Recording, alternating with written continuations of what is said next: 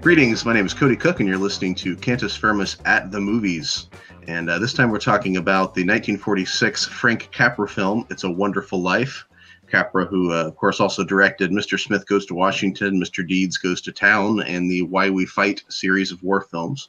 And uh, my guest this time around is Kevin Peyton. Kevin is the executive director of Joshua's Place, which is a community outreach organization in South Lebanon, Ohio, that serves as a food pantry that also builds relationships by meeting more than just material needs. Joshua's Place is connected with the Village Community Church in South Lebanon, which Kevin pastors.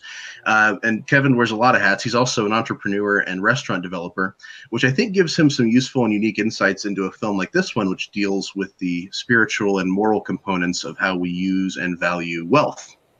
So, Kevin, thank you for for taking some time to be here to talk with us. Uh, thanks, Cody. Glad to be here. Appreciate you asking me to do it. Yeah.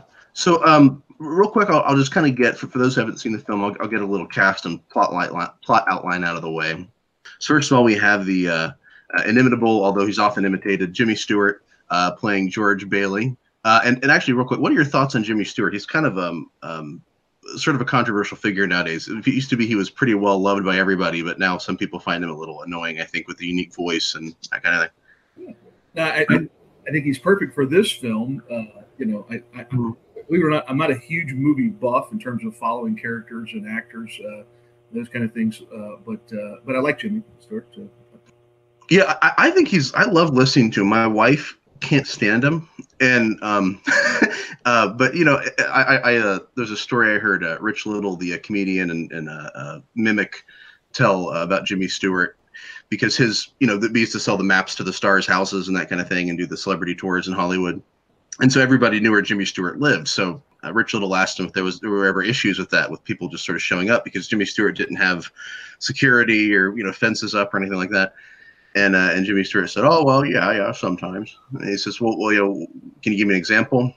And he said, "Well, uh, one time a truck pulled up and a family got out and started having a picnic on my front lawn." And Rich said, "Oh, did you you know get out there and tell them to leave?" And he said, "Oh no, no, I, I couldn't have done that." He said, "Well, did you did you call the police on him?" He said, "Oh, oh no, no, no, I couldn't have done that either." So, so what did you do? Well, I I went out back and I, I turned on the sprinkler. Um, anyway, I thought that was a funny story. But um, so okay, so Jimmy Stewart plays uh, George Bailey, um, the main character, the protagonist. Are you going to use that act? Are you going to use the uh, the impression throughout this? Was, was, no, I, I got it. I got it out of the way early. Uh, but if, if you want to try one too, you're welcome to at this point. Um, so yeah, so Jimmy Stewart plays George Bailey. Uh, his wife Mary Hatch Bailey is played by Donna Reed. Uh, Clarence Odbody, which is of uh, is, is a, I think supposed to be a joke name, uh, is the angel. Uh, Clarence the Angel is also known by, as played by Henry Travers, and um, Lionel Barrymore plays Henry Potter. Lionel Barrymore, of course, from uh, Broadway and, and film, uh, kind of a well known in that Barrymore family. So the, the basic plot here, for those who haven't seen it, and um, if you haven't seen it yet, you should go ahead and watch it because it's on Amazon Prime right now as we're recording this, uh, and it's you know kind of a, a classic film. Uh, so you know you got you got to go go out of your way to, to watch it. So the, the idea here is that uh, George Bailey is a man who's lived his life sacrificing for others, and yet he finds himself contemplating suicide the prayers of his friends and neighbors go up to heaven, and a uh, you know kind of dopey but well-meaning angel named Clarence is given background on George to prepare him to intervene. We learn that George lost his hearing in one ear as a boy, saving his brother from drowning. That he stopped his pharmacist boss as a child uh, from administering uh, medicine, uh, poison as medicine accidentally, and that he gave up his hopes to see the world in order to take over the building and loan uh, uh, business when his father died. And this is a building and loan that was the town's only buffer between hardworking poor folks and the machinations of unscrupulous banker Henry Potter, who just usually goes by the name Mr. Potter throughout the film. Uh, after George's uncle Billy misplaces $8,000 of the building and loan's money, and Potter finds it, the future of George as well as the building and loan are in jeopardy. Due to George's life insurance policy, he's worth more to his family, in dollars anyway, alive than dead, or sorry, dead than alive, rather. Uh, as he contemplates suicide, Clarence the Angel intervenes. George tells Clarence he wishes he had never been born, so Clarence arranges to show him what his town of Bedford Falls would look like if that had never happened. Thus, we learn that it is indeed a wonderful life, uh, at least for George. So th- that, that's the, the basic outline. And uh, you and I had talked about this. Neither one of us had really seen this all the way through until recently, and, and part of the reason I think for that is it's kind of an odd film. It doesn't, if you start early, like kind of from the beginning, it doesn't always grab you. It's it's it's strange, right? Yeah, I I, I described it. I, I don't think I had ever seen the opening scene where the uh, the two the, the the heavenly scene where they were talking to each other. It it reminded me of kind of a Mork and Mindy opening. yeah. And I thought the first time I thought I might have come upon like a spoof version of the film, and uh, and then, and then realized it was uh, it was actually the real film. And so yeah, it was uh, seeing it through its entirety was a little odd. I'd seen I, I know I'd seen the entire movie, most of it, uh, several times, uh, but just recently watched it beginning to end, uh, which was a fun experience. Yeah, I, I, watched it for the first time all the way through this month, and I'd started it probably twice before, and just never. I it, I think just early on it didn't grab me. There's kind of the, the, the angel scene. You're talking about the angels in the sky, and they're talking, but there is actually just stars moving around, right, yeah. uh, and it's kind of ugly, and it's it's it's, it's yeah. weird. Then yet is I've not watched it in color. I think, which I think would be interesting oh. with the colorization, but I, am I'm imagining uh, it's probably doesn't help a lot, but. Uh, yeah, I'm kind of a stickler for for not colorizing movies that were filmed in black and white. I mean, uh, partly because that was, you know, it's lit a certain way for black and white. Black and white, the director has a certain vision as he's seeing it. So I, I, I kind of, I sort of hated that whole colorization movement that happened in the 80s and 90s where everything was was colorized. But, uh, but yeah. Anyway, um, yeah, and I think you and I talked about too. There's this scene, um, one of the flashback scenes where they're at the high school dance where he gets romantically connected with Mary, his future wife, and uh, there's like this, they have this, the the where they're dancing is actually like a cover for a, a pool. So it's they're like it's a double. It's actually a high school gym, right? Yeah, and they've got this pool underneath.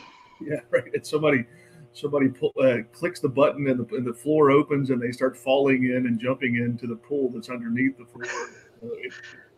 I don't know that I'd ever seen that. Uh, in, in, my reading, I, I, researched it, and that was an actual high school in Beverly Hills that it really existed at the time. So I'm curious to see if that was, you know, something they just was. A, it was an opportunistic uh, addition to the movie. I, am certain it wasn't in the original book, but it was. It was definitely an odd part. Not sure that it really fit in the story. It was interesting.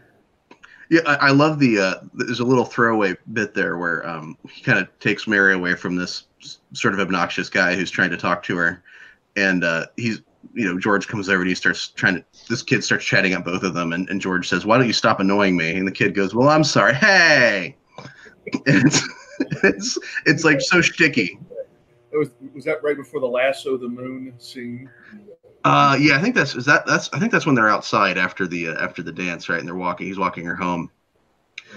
yeah, and I think you, you could use the word cheesy a lot uh, by today's standards, and I think you know by how we describe things today. There was a, seemed to be a lot of overacting, uh, mm. you know. But I think was timely, you know, for for the time for for the era. It was there, uh, but uh, uh, interestingly, and I, I had no idea until uh, I think well, you know, we we use this as a uh, as a catalyst for a sermon series in our in our church, and hmm. so I did some research, and it was surprising to me that it was actually a a, a disappointment. Um, uh, the, it was a, a, film a financial flop initially, and it wasn't until it had fallen out of copyright uh, in the 70s and 80s that it began to pick up steam and uh, begin to be, become the cult following that it is now. But uh, uh, looking back, I could see that it was a little, you know, almost predictable in some places in the movie.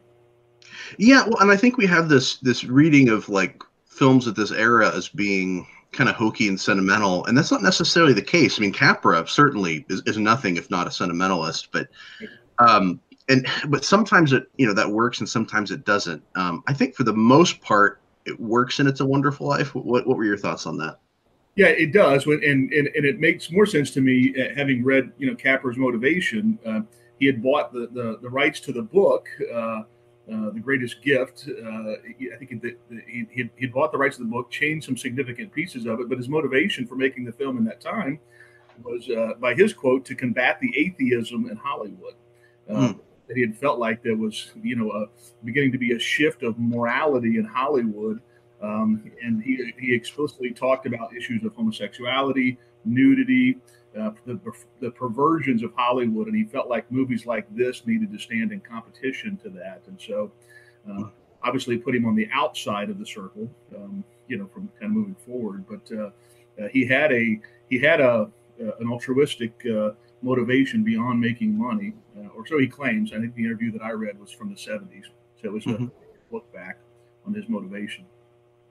Yeah, and this whole idea of kind of combating atheism is interesting because, um, you know, obviously this is a film where there is a universe that where angels and, and God exists, but it's not distinctly Christian. Um, yeah, right. And it, it, kind of brings to mind um, uh, President Eisenhower's statement uh, that uh, our government makes no sense unless it's founded on a deeply felt religious faith, and I don't care what it is. Uh, yeah. But there's this this kind of uh, you know, this this this term kind of cropped up around that time period of the Judeo-Christian civilization. Right. Yeah. Um, and it's like you know you sort of boil uh, you, you sort of take theism and you, you boil it down to its essentials, and then you you know if you can fit Jesus in here or there, that's fine, but it's not necessary. Um, because you know if you think about the work he had done for the U.S. government, Capra on the mm-hmm. why we fight. You know, it, he, he had this almost utilitarian view of his work as opposed to, you know, you would expect more of a creative motivation. Uh, and so, you know, whether it's kind of making the case for war uh, and helping motivate troops for the, uh, the you know, why they fight, uh, or in this case, uh, to take on a more religious perspective and giving a defense to uh, supernatural presence it, it, you know, just it's interesting to me to see him uh, kind of see his work through that lens, as opposed to we tend to hear from folks in this realm is it's more artistic and more creative. It's more expressive of that outcome. Mm-hmm. Seem to be okay with the fact that it had a job to do. Yeah, which is not to say that it's it's not well made. I mean, certainly, um, you know, it, it's it's a it's a very well made movie, and you, there's no artistic flaws with it necessarily, but but yeah, he is you know he has a point of view that he's he's I think trying to get across. The um, it's interesting to me because it, it would look to me like kind of um, an expression of American populist religion. Um, so you have like these elements of providence and you know American exceptionalism a little bit. The the angels seem kind of keenly interested in in uh, America's military foreign policy and that kind of stuff and uh, supportive of it um, and and this sort of concern for the working man. Right. Um, but I, I, don't remember, you know, like Jesus coming up apart from an allusion uh, in a rousing chorus of "Hark the Herald Angels Sing." He's he's kind of referenced there, but um, but yeah, it. Well, it's, it, in my mind, there's this, you know, there's this, there's this kind of messianic archetype that happens. Like, so, so you can kind of say George Bailey has this, you know, kind of Neo type. You know, he, he's the sacrificial you know, personality he, he takes the smack from the, the pharmacist without you know he doesn't he doesn't respond in that way. And so there's some of that. I, I, don't think it's well done necessarily but i think you can kind of pick up on some of that imagery. But i'm like you it's not really all that spiritual of a movie in, in its overtones. Um, i think to me it's interesting to see it's it's much more uh, cultural you know that way. Mm-hmm. talks a lot about the underdog um, seems to be much more about uh, um, the uh, kind of the moral hazards of not of, of socioeconomic differences.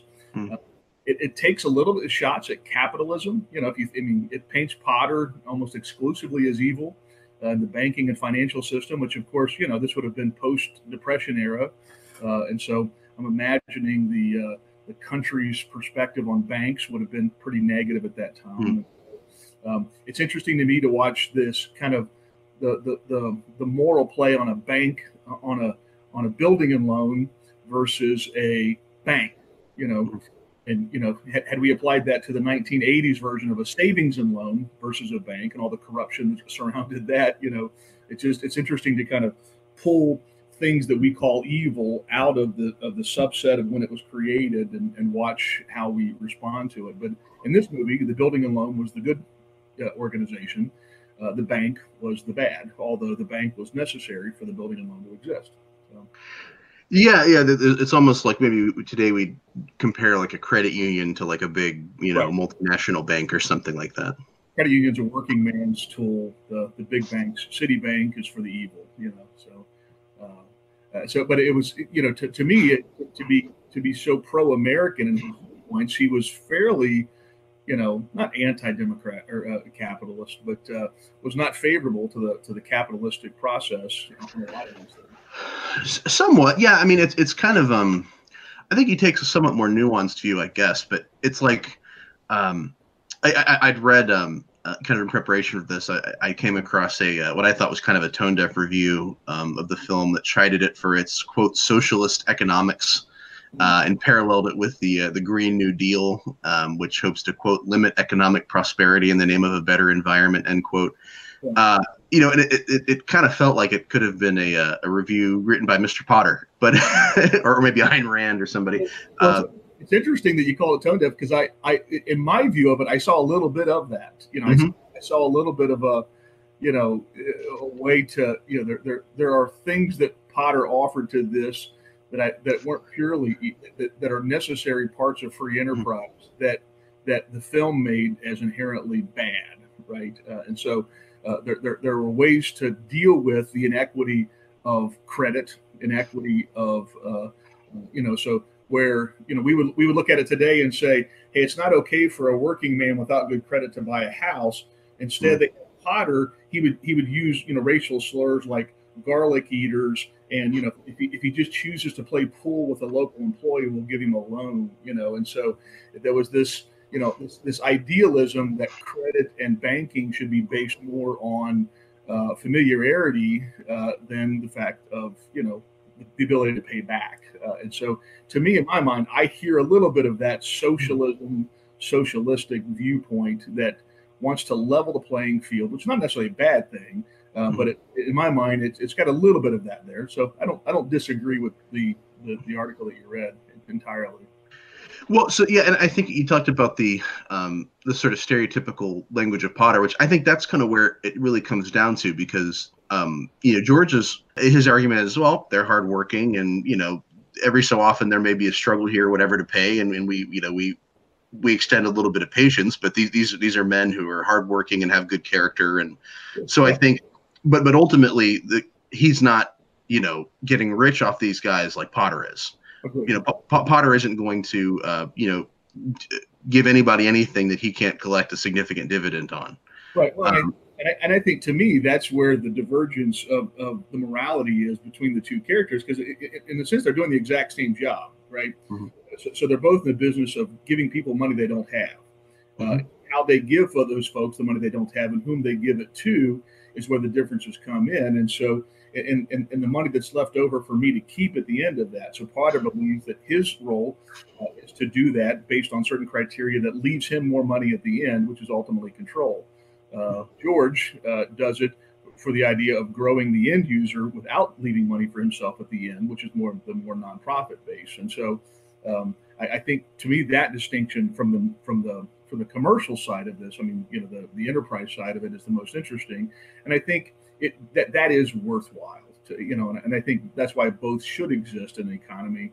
Uh, but I, it, to me, I think it's it's it's interesting and timely because of the time in the air. When you think about what was happening in the 30s and 40s, having coming out, having come out of the Great Depression, you know, you know, swaths of wealth had just moved into the hands of a very few people, uh, and so no doubt that played to an audience that had felt like, hey, we really got the screws put to us, and there are still just a very few people that have most of the money. Yeah, yeah, yeah. Well, and, um, the the the FBI actually at the time had suspected the film of being um, communist propaganda um, yeah. because they, they saw its portrayal of bankers as Scrooge Scrooge types and saw this as like a, a quote a common trick used by uh, used by communists. Um, and you know the casting of Potter, literally, you know, from the Christmas Carol, the guy that had played the Scrooge, was probably yeah. so. yeah, I'm sure that had an impact. Yeah, it, well, and you know, I, I think I, I, I agree with you that there's there's kind of a populist economics at play here that I think you sort of see still today, and and um, particularly like in, in sort of Trump's base, where there may be a somewhat of a naivete about economics, right. um, but at the same time, um, you know, one of the things I, I, would heard um, uh, your, first sermon on um, making connections about the film related to money uh, and George's view of money versus uh, Mr. Potter's view of money. Um, and, and it seemed it seemed to me that the, the film wasn't necessarily trying to address capitalism or even banks. I mean, you know, Bailey's also a banker, as you'd mentioned, but it, it's the attitude uh, toward money um, and and this connection with hoarding or exploitation. And you know, George at one point in the film is, is staring at a portrait of his father and it's kind of a, a, quick moment that you could miss but underneath this portrait of his father in his office is this sign that says all you can take with you is that which you have given away. Right. Yeah. Um, but, but I, would be interested in hearing you kind of talk a little bit about these these two different attitudes toward money and, and, and where you saw you know. Well and it's and that's what i love about the movie and, and you, you outlined in your uh, your introduction to me the, the worlds that i live in both as leader in the uh, the world of faith and as a leader in the world of business. Um, those things collide on a regular basis, uh, and obviously, uh, the what, what truly leads us is the the, the, the scriptural and the biblical, and I and I think uh, that is where the movie gets it right. Uh, is that it, it, it really it it, it it it gets to the issues of attitude and heart about how we see money and our attitude towards money, and what is the purpose of fiat currency, uh, and the differences between you know, and, and distribution and how, how, do we give it away? I, I, think the problem is is from the economic side, is we tend to look at it more binary. You know, is it socialism or is it capitalism? Uh, and that ridiculous conversation that people want to get caught up into about you know what politics Jesus would have, what economics Jesus would have, you know, all of those kind of ridiculous conversations. Uh, but ultimately, I think the movie did a great job of kind of challenging all of us at a heart level and say, what, what does money mean to us? In the end, it was money that was the salvation, right? It was the community coming together uh, and giving uh, the money to George. Interestingly, the, the, most disappointing part to me, there was no justice for Potter. The mm. movie ends without really ever dealing with the fact that Potter knew he had the money. He stole the money. He, he you know, he completely fabricated this idea that George had done something irreputable with the money, and the movie ended without ever dealing with that. And so, part of you know my sense of justice wasn't satisfied with the with, with, Clarence getting his wings as the as the conclusion. Sure, you might, you might want to follow this movie up with something like uh, Charles Bronson and Death Wish, something along those lines. Uh, Jim comes out of retirement and, and makes things. Um, yeah. So the, the, I, I, yeah, the thing about Potter and Injustice, though, uh, there is this connection here with, um, you know, the problem of evil, and and there's a lot that you can say about that, and there's a lot of answers that have been given to that problem, and, and most of them probably have at least some basis in truth. But I think for for this discussion, I'd be interested in narrowing the focus to this issue of when God chooses to intervene. Hmm. Um, I think most Christians can point to moments where they felt that God's intervention in their lives was apparent and also times when it wasn't and they wished it was. And in George Bailey's life, as we watch this film, we can imagine a number of other occasions when we when, when Clarence could have come down and fixed the situation.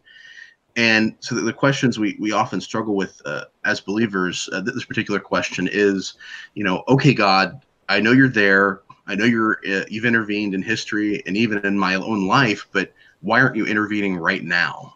and uh, that that issue sort of comes up as you watch the film. You know, you think, okay, well, why didn't Clarence come in and, and uh, find a way of, of pinning this on Potter, or why did he not stop Uncle Billy from losing the money to begin with? You know, why is it that he, he intervenes right here? Sure. Yeah. Yeah. Well, and you know, and it it, it certainly it, it strikes at our need and desire to, to understand and to, and in some ways that you know obviously time is a function of control. And so here we are talking about issues of control, and so many times my questions about God and His timing are my issues about my control and why He's He's let me down with my expectation of His timing and my limited understanding of what the benefit of His movement is. And so, you know, then then we get off in the discussions about trying to guess God's motivation and God's intent, and uh, uh, that's a it's, it's a you know it, it can be a difficult walkthrough. I think for for for for the purposes of the movie, you know, as you talk about where where this falls into uh, to to to benefit George Bailey, I you know it's it's my belief that the you know, and I don't know that this was the, the original intent of the writer, but but I believe there's a message here not just of money but of community, uh, and as it relates to God's intent to to use the uh, his hands and feet, you know, and so in the metaphor that I would choose most often, which would be the local church, um, to express His will uh, and His benefit to the world, uh, and so uh, in that way, I think the movie parallels um, everything that God can do supernaturally, but in the end, chooses to allow others to be benefit uh, as part of that uh, solution. And so, that's to me that's intriguing that it wasn't just a miraculous eight thousand dollars that ended up, um, or that you know at the instant that you know, wacky Billy figured out he lost the money, that he instantly remembered, you know, he put it in the paper and would have resolved everything, but that bad things continued to happen. God's will was expressed through a community of people that loved, you know, uh, George. Um, that, oh, by the way, was the opening expression and question of the movie, which was the prayers of the townspeople asking yeah. to move, right? And so, and the end of the movie is bookended with the townspeople uh, uh, being the the solution to their own prayer, uh, which was the money that had gone missing. Yeah, and I, I like this idea of participation, and I, I, do see that as is another one of those kind of partial answers to this issue of the problem of evil, where we sort of find ourselves in situations where we have to choose to do something ourselves, and and and that's I think often a misunderstanding of prayer. Um, and you see a lot of skeptics who will mock Christians for uh, you know, sending thoughts and prayers when you know something terrible happens. Right. Uh, and but but but but the reality is that prayer is the beginning of participation in, in a lot of cases. It's it's basically me saying, you know, God, I'm expressing my concerns and my desires to you that you would intervene, and also, by the way, what can I do? And can you prepare my heart to, to, to do whatever is necessary in the situation? And without specific denominational commitments, I think the movie hits the highlights of that. You know, as you think about the natural and the supernatural, uh, as it begins with the created, you know, the individual townspeople laying up prayers for someone they loved, you know, because they believe that there's something as individual as an individual praying for George Bailey. I do not have the ability to solve his problem, so I access the supernatural and, and, and, and presume that God has the answer to this. Well, then there's another supernatural activity that happens through the angelic, the movement of God's warriors, and all of this. The theology gets messy from there. Again, we won't get into that. Um, and then ultimately, it's the it's the coming together of the angelic and those who are part of the community that the very community that we're, that we're praying for George that are part of that solution. Uh, and all of that is a reflection of God's will and God's movement, if you want to, you know, kind of use it metaphorically. Yeah, well, and and you said maybe maybe not to get into the the angel angelic issues, but uh, the angelology of the film, so to speak. Yeah. Um, but you know, I, I think we could for a minute. Um, the so there's obviously this this issue that you know Clarence is a former human who dies and becomes an angel and is working on trying to get his wings by uh, accomplishing these good deeds. Um, which obviously is not biblical. So you know, uh, you know, uh, if if you know someone you care about dies, it's not because God needed another angel. You know, he's he's got enough angels, and humans don't become angels. That's not part of the deal. Um, but um, the thing is, you you and I make light of that, but in my you know the past decade of pastoring, um, that that that is a common belief system. Yeah. I mean, that, that, that is damaging. You know, that's laughable at some level when when it's so easily, you know, spoken against and so clearly exposed as not helpful and not truthful. Um, but films like this perpetuate that, and, and yeah. we believe it, and, and, and and that begins to undermine our ability to under, to see what prayer really is. So I'm sorry, go ahead. Oh, no, it, well, it, maybe before we, we get onto the angelology thing, um, we were kind of talking about this this issue of when God doesn't choose to intervene, and and I think that you know you as a pastor you, you were sort of talking about it, hearing people say things like, well, maybe God needed another angel or something. But as you, um, you know, see people who are struggling because of, you know, loss of family members or even children to illness or drug addiction or whatever the case may be, um, is uh, what are, you know, what are some of the things that, um, I mean, what do you even say to somebody uh, in a situation that's struggling like that and wondering, you know, where God is in that situation? Sure. Well, and you know, the, obviously, the, the, the, first and best answer is there is no one answer, and so I, am always quick to relieve myself of that responsibility. But I, I do believe uh, uh, that there is perspective that offers uh, uh, uh some some relief to it because you know we, we tend to see all these things: suffering, hurt, disease, death. Um, through the limited perspective of our own understanding and through the limited time frame of the time that we see, without a full understanding of the supernatural and the eternal. Uh, and so um, all of those limits put us in a position to where we, you know, as that comes into an emotional, uh, acute event like a death of a loved one, we're quick to grab onto a quick answer like, okay, God needed a whatever, versus a, you know, in the in, in, in, the, in the realm of eternity where we, God works outside of time and Him understanding the multiplicity of benefit for whatever this is, um, this is exactly the right thing to be happening. While in the short term, you know, Apostle Paul talks a lot about suffering and how um, the, the suffering that we endure now is compared nothing to the glory that we'll realize later. But none of us really have the ability to be able to, to fully realize that. And so the battle in those perceptions and those discussions is trying to step outside of our own experience and our own emotional moment at the time to do that, which is impossible. You really can't do it. However, um, a, a, better understanding of the supernatural and the eternal is helpful. Uh, and so um, I tend to uh, try to try to direct people that way. Uh, you know, and, uh, depending on their theological beliefs about what eternity is like and the access to the eternal, uh, to see this as separation, not as permanency.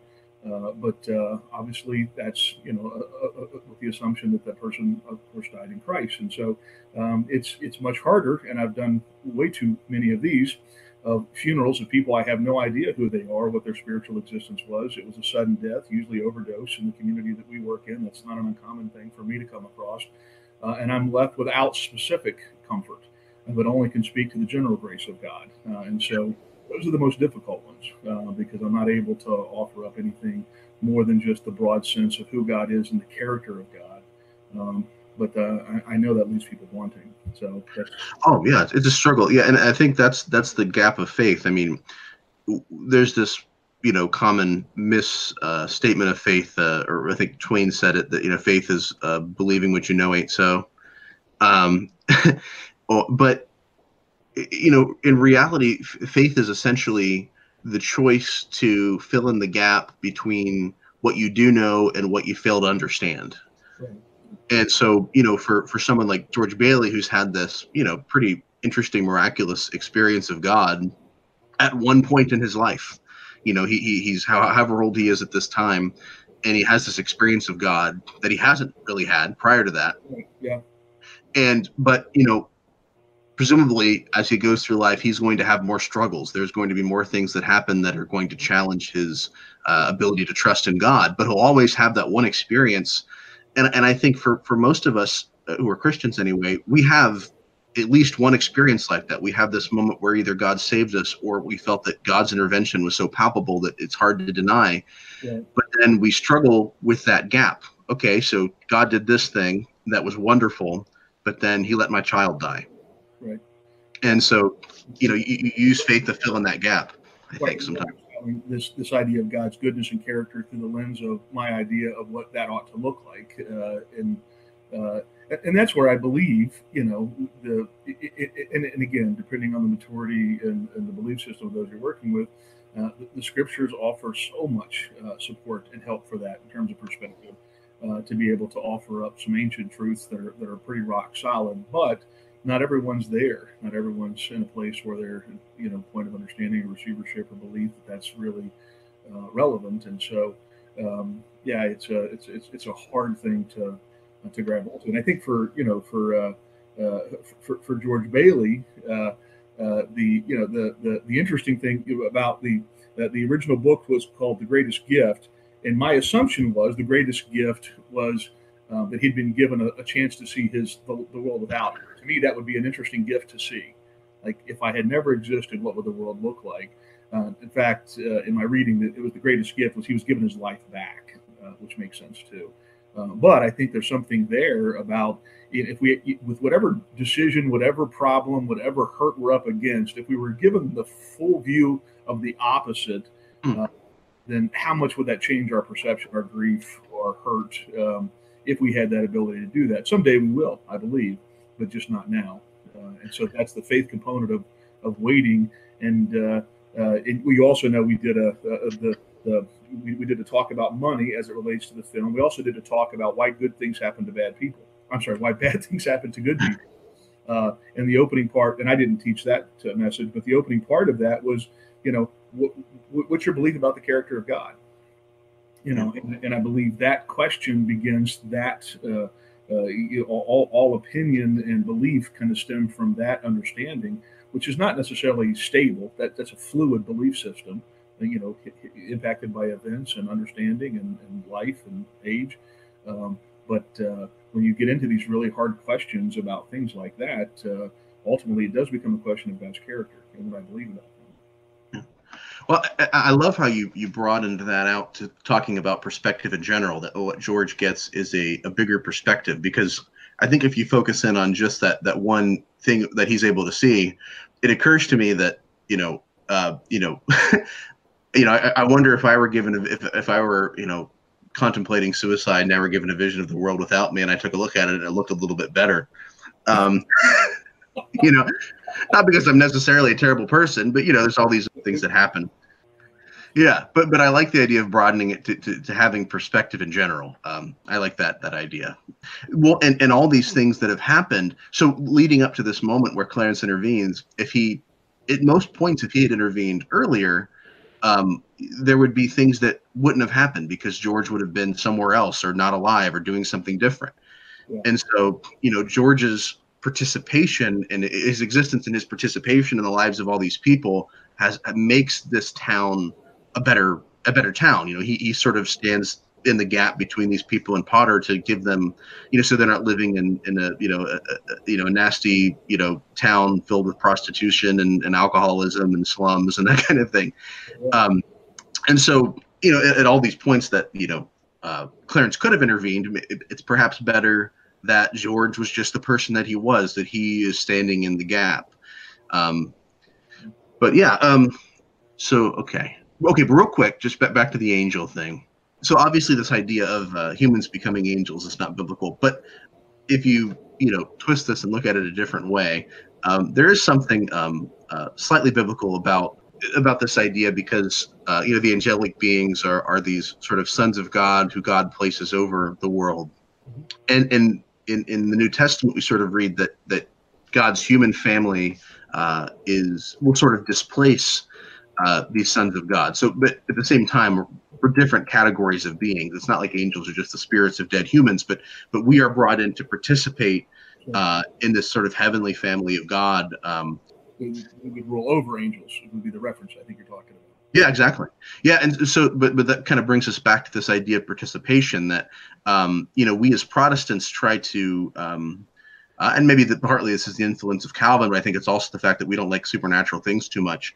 Um, we try to, um, you know, take down the, the number of divine beings uh, to just one. So we, we really don't like the idea of angels and all these kinds of things. So we have, you know, this one God, uh, and He's sovereign, and so you know, our, our participation is also minimized in that. Um, and but but the reality is that you have these angelic beings and not all of them are are, are uh, you know working for god but their participation is important god could do everything he wanted by fiat but he creates human beings and angels and the participation of all these beings is essential to the plan and purposes that god has and so we can't just sort of step mm-hmm. aside and say well whatever god wills is what god wills okay. we have an obligation and, and, and add to the mix of that that in both of these created beings seems to be an ability to express will, right? Mm-hmm. And so, um, yeah, it, it, you're right. It, it, hadn't you know having not thought about it that way, it, does it does add to a messier understanding of faith and outcomes, right? Uh, because yeah. If I if, I exclude my belief down to just one, you know, the, just the singular monotheistic belief of God, even if I get my Trinity down to one view, uh, then it's simple, right? Uh, uh, but if this is about God's will being expressed through the movement of the Holy Spirit, through the salvation of the saints, through the intervention of the angelic, then it, it, requires me to participate in my uh, own salvation, to work out my own salvation, right? and then I'm not just a byproduct, um, well, maybe predestined at some level, uh, for salvation that I have a say uh, in the outcomes of the world around me. Uh, and I have a say uh, in my participation of God's use of me uh, as a believer. Uh, and, I think sometimes that's a more dangerous belief system because it requires my availability. And um, availability isn't something in the Western American world in 2018 that people are willing to give up. Yeah. So, and and perhaps another way to think about it here um, is that it's a wonderful life because our decisions matter because God has given us the ability to participate in His purposes. Right. Yeah. Yeah. That's a good way of thinking about it. Yeah. yeah you know, and, and, and the critics on the other side would, would want to, to, to make that sound as if we don't believe God is sovereign. God is absolutely sovereign. Uh, I, I, I, don't would, would never take take anything away from that belief system. However, uh, I, I, believe in His sovereignty. He exercises His uh, his, his his expression of love in us that we we get to participate in that. Those, those townspeople that brought the money to, to, George's house were an expression of the miraculous will of God. Uh, Absolutely. It, looked very practical. It looked very sim- It looked very you know uh, physical, but it was a miraculous movement of of, of God's will uh. And also presumably the result of their prayer. Absolutely. Yeah. Right. So okay, so I want to start wrapping things up a little bit here. Um, so, are you you're doing one more sermon on um, "It's a Wonderful Life"? Is that correct? Yeah, yeah, and not surprisingly, I'm talking about community. Okay, so w- what are some of the things that you're going to sort of highlight there? So, just you know, I think you're still working that out probably a little bit, but yeah, yeah, no, I, we, we, I've got the content mostly uh, outlined and talking about, but I'm, I'm, I'm going to talk about the uh, the communal nature of God, uh, how that being made in His image, uh, that uh, what we see in the film was reflective of our image bearers of God, uh, and that the townspeople reaching out on behalf of their friend George is reflective of what is natural to all of us. That's the care and love for each other. Um, and that, uh, just to what I said to you, t- tomorrow's talk will begin with the townspeople's prayer. It'll end uh, with uh, the townspeople's miracle. Uh, and coincidentally, this is being taped on the 22nd of December. The 23rd of December, we take up our annual offering for the poor in our church tomorrow. Uh, and so uh, we will be we will have our chance to be the miracle to our community in the same way. So um, what, what I'll go ahead and do is um, I'll, I'll, provide a, a link to the uh, the Facebook page. So I know you guys do sermons, um, publish the sermons on Facebook. So if anybody wanted to uh, check that out, they could do that. Are, are there any other uh, like social media or, website information I, I, you'd like me to pass along? Yeah, probably Facebook would be the best way. That's usually we can get the, ser- the sermons live at. Uh, of course, the uh, our, the Joshua's Place website is joshuasplace.cc. The church's website is thevillagechurch.cc. Uh, and so you can find us there. Yeah, and, and you guys are expanding Joshua's Place. You already you have uh, like two campuses essentially for that now, and yeah. you're looking to do more of that, right? Yeah, so, so we've got a belief that uh, um, that the church uh, has uh, a lot to offer uh, this issue of folks that are struggling, uh, and that it's way more than just food, uh, and that uh, we're focused on adult development, child engagement, and addiction recovery, and that in our culture today, people tend to identify mostly by school district, and so the plan and strategy is to grow the movement by school district, and our uh, first goal is to be in every school district in the county that we exist in now, which is nine school districts. And so, um, through that uh, method, uh, we will have a place for uh, meeting material needs, things like food and clothing and that kind of stuff, obviously. Uh, but more importantly, uh, relational connections, parenting classes, financial resources, financial literacy, child camps, child mentoring. Uh, a big piece of what we do is addiction recovery. Uh, um, it's a community for folks that are in active recovery for addiction. And so uh, we feel like if we can get a movement of churches that are connected with that idea, we believe we've got a model um, that's reproducible uh, and we've got great energy. So our second site opened this fall. We're working on our third site now. We've got five churches in the community just to the north of us that have signed up and said we'd like to do it. And so we're engaging on a uh, uh, on, on, a growth model now to, to move the church that way. Uh, thank you so much, Kevin, for taking time to do this, and uh, uh good good luck on your sermon tomorrow. Thanks, Cody.